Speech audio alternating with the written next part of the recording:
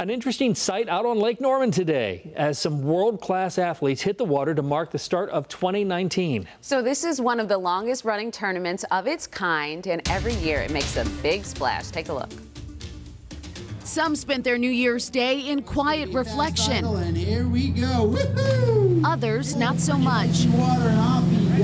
Welcome to Lake Norman's first ski tournament of the year, where competitors do their best to get on the good foot. Barefoot water skiing, so skiing with no skis on your bare feet. So less surface area, much more intricate.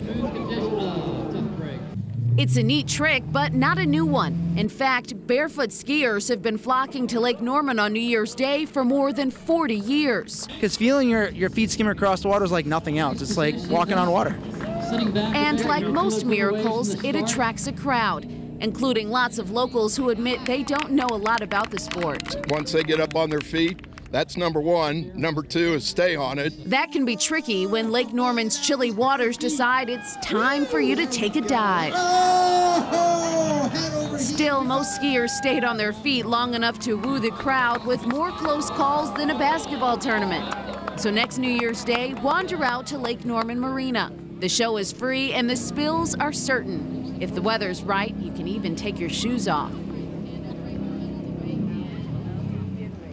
And cheers to oh. all the brave people who went out and did that. The tournament also raised money for Samaritan's Feet.